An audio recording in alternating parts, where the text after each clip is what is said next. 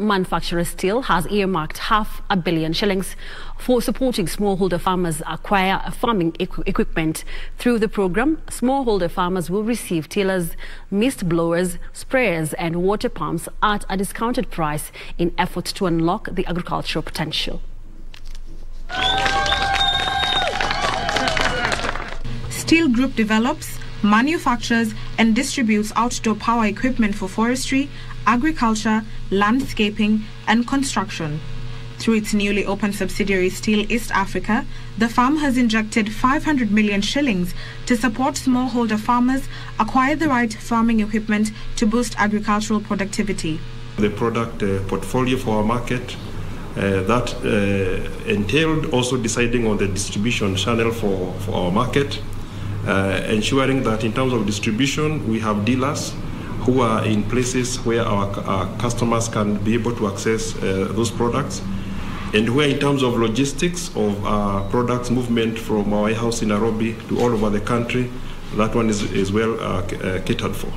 Farmers will receive a range of agricultural products from tillers, mist blowers, sprayers to water pumps at an affordable price to boost the levels of mechanization of agriculture. We currently we have over 2,500 lines of individual inventory that we have already have in place. That includes new machines, uh, spare parts, accessories, and everything else that customers need to use our products uh, most efficiently.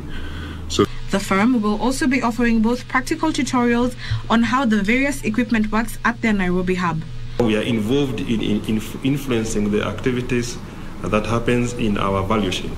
That included um, uh, determining the product uh, portfolio for our market, uh, that uh, entailed also deciding on the distribution channel for, for our market, uh, ensuring that in terms of distribution, we have dealers who are in places where our, our customers can be able to access uh, those products.